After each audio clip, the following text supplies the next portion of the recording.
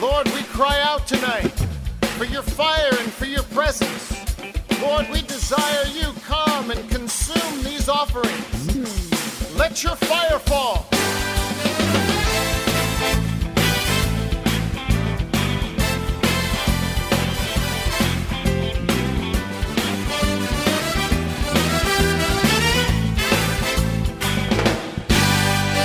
Holy fire, you're my